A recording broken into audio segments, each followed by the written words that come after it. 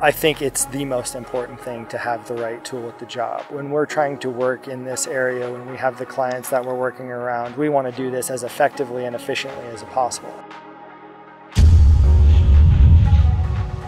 It's probably in this environment a month, maybe two months, and the bucket's paid for itself.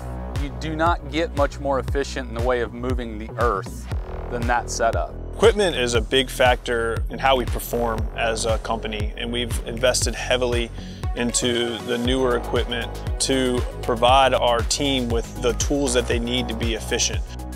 There's not a rake on the market that's similar to this that we can find with the thumb and everything attached to it that's so easy and we have no cylinders to worry about on the stick. We're always looking for any safety advantages we can find in equipment, which led us here to the AMI ejector bucket.